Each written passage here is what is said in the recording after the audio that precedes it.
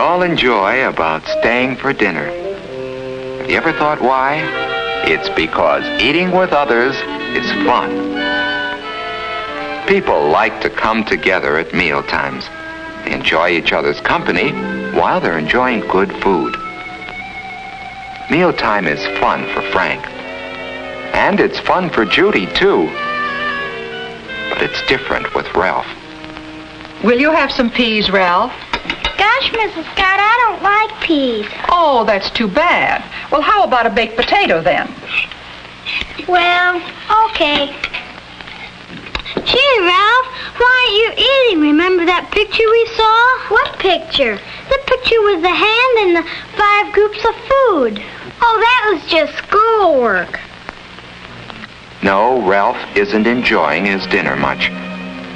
Maybe it's because of that candy bar he had just before dinner. Whatever it is, Ralph's good time with Frank and Judy is spoiled.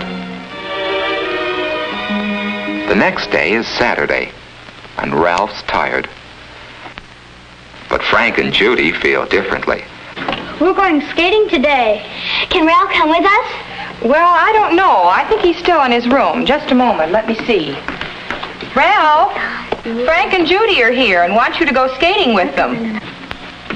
Hi, Frank. Hi, Judy. Hi. Can you go skating with us outside? It's just right. I don't feel like going skating. Thanks anyway. Oh, well. Okay. That's too bad. Maybe he can go tomorrow. Bye, kids. Bye. That's how it's been for quite some time. Ralph just hasn't had the pep that he should have. And now, Ralph begins to wonder why. Maybe there was something more in last week's classwork than he had thought. That hand, for instance, that his teacher had drawn. Five fingers that point the way to health. What was it now?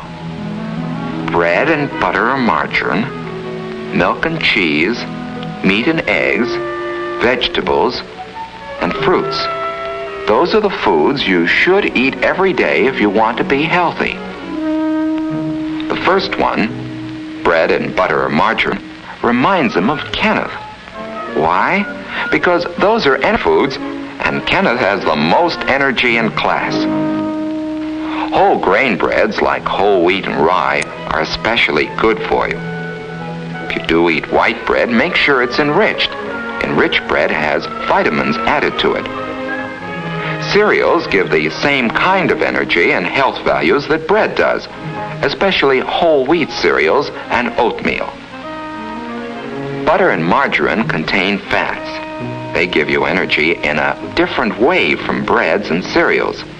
Butter and fortified margarine have vitamin A in them, which is necessary to good health. The second finger that points to health represents milk and cheese. And somehow, they remind Ralph of the tallest children in class. That's because milk and cheese help the body grow. Milk is about the most perfect food there is. A glassful at every meal is good for you, and with one more, that makes a quart a day. Vitamin D milk helps build strong bones and teeth. And Ralph has decided that it must be lots of milk which has given Linda such a bright smile. Cheese is a bodybuilder too, and there are many kinds to choose from. The third finger represents meat and eggs. And Ralph thinks of George right away, because he's the huskiest and the strongest boy in class. Meat and eggs help the body grow and make it strong. Meat is good for you, and there are many kinds. There's beef, there's pork and ham, there's lamb, fish is good, and so is chicken and other poultry. An egg a day is good for you too.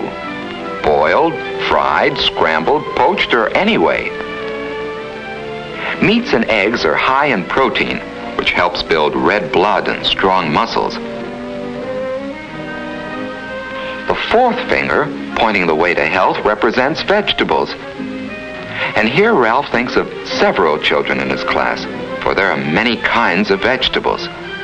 Potatoes, for instance, are an energy food, and baked potatoes, eaten with their skins and butter or margarine, have lots of vitamins and minerals too. When it comes to green and yellow vegetables, Ralph thinks of Wendy, the prettiest girl in the class. And there are so many different kinds. Green vegetables like string beans, asparagus, and broccoli. There are salad vegetables like lettuce, and many others like celery, radishes, and carrots. Carrots are good cooked too, and so is squash and other yellow vegetables like rutabaga. Cauliflower and cabbage are good too. Yes, there are hundreds of wonderful vegetables. The important thing is that all kinds of vegetables are good for you, whether they're raw or cooked. They're important for good health, for lots of energy and pep, for clear skin and bright eyes, for shining, gleaming hair, and above all, for that wonderful sense of feeling good. The last finger represents fruit, and there are two kinds. Some are especially rich in vitamin C and help ward off some of the diseases that keep you in bed. They help cuts and bruises heal faster too. Foods with lots of vitamin C in them include orange juice, grapefruit, strawberries, melons, and of course whole oranges. Certain vegetables like tomatoes and raw cabbage are also rich in vitamin C.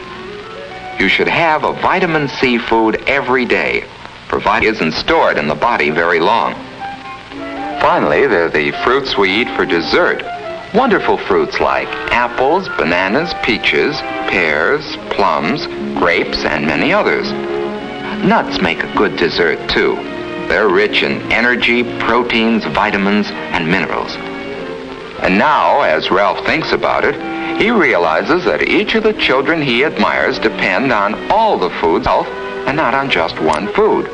George is strong, Wendy is pretty, Linda has a bright smile, and Kenneth has lots of pep, not because of any one food that they eat, but because they eat some of all kinds of food. For it takes five fingers to point the way to healthful eating habits. and Ralph goes over them in his mind.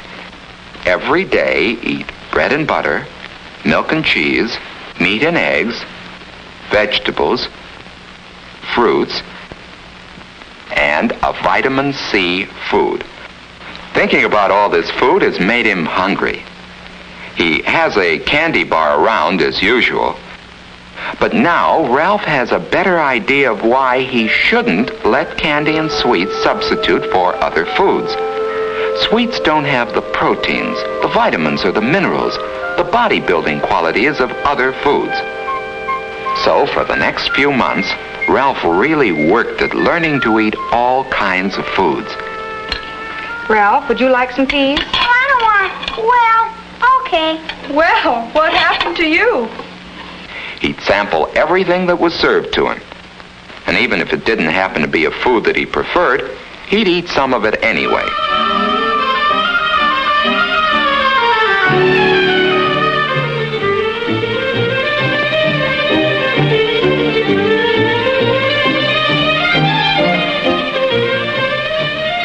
At night, he'd go over the five food groups and see how he had done that day. After a month or two of this, Ralph suddenly realized that a slow change had taken place without his noticing it. He found that eating had become fun. What's more, his health was better and he had more pep. He had more fun than he used to and more friends. And all because he had learned to eat by counting his foods on his fingers.